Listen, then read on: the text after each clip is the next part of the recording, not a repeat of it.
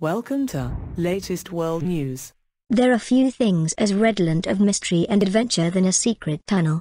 So the hidden passage discovered recently beneath the colonial building that used to house the Indian Parliament has prompted all kinds of exotic and grisly speculation.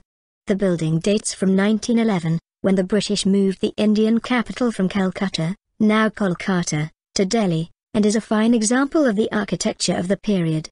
Walk through the grand arched doorway and you find corridors with all the hardwood paneling you would expect in a classic Edwardian expression of imperial majesty and might. The tunnel is beneath the floor of the parliamentary chamber itself, now the home of Delhi's local city government. Just as you would expect, the entrance is hidden. Peel back a flap of the green carpet and you find a hatch.